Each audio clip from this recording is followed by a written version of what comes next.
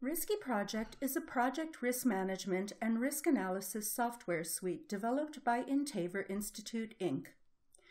Risky Project Lite is an easy to use project risk analysis software focused primarily on schedule and cost risk analysis. Risky Project Professional provides integrated qualitative and quantitative risk analysis and risk management for Windows based desktop computers. Risky Project Enterprise is project risk management and risk analysis software, which can be used across every project in a company where multiple users may share risk and project information. Let's take a look at how Risky Project works based on an example using Risky Project Professional. Here is a project schedule. It can be created in Risky Project or can be imported from other project management software such as Microsoft Project or Oracle Primavera. Risky Project also allows users to perform risk analysis directly in Microsoft Project. In addition to project schedule, Risky Project includes a list of risks in a comprehensive risk register. This risk register includes all information about risks, such as multiple risk properties, risk costs, risk probabilities and impacts, and risk mitigation and response plans.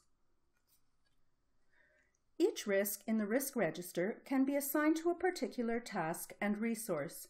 You can simply choose a risk from the project schedule and drag it to selected tasks and resources. Then you can enter a probability and an impact for risk. In this example, the risk will have 30% probability that the duration of the task will increase by a margin of 20%. Now we can perform Monte Carlo simulations. The results of Monte Carlo simulations are displayed in the risk-adjusted project schedule.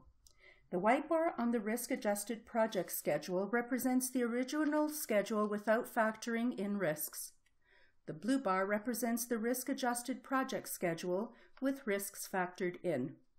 When we double-click on the blue bar in the project schedule, we can see the statistical distribution of duration and cost, as well as the start and finish time for this task. The results of Monte Carlo analysis for the complete schedule are presented here. The original project schedule indicated that the project would be completed in 80 days. However, on average, the risk-adjusted project schedule will be completed in 100 days. These histograms will help you estimate the chance that a project will be completed on time and on budget. Here are the results of the cost analysis. The blue line represents the project cost with risks factored in, and the red line represents the project cost without risks factored in. When we take into account the impact of risks encountered during the lifetime of a project, you will generally see an increase in both time and cost. The green line represents actual values. After Monte Carlo analysis, the risks in the risk register will be ranked.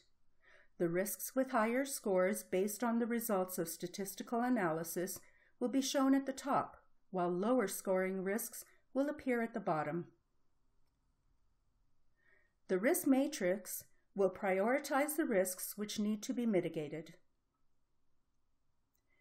Risky Project also helps define and an analyze risk mitigation and response plans. In our example, here is a risk mitigation waterfall chart for the selected risk.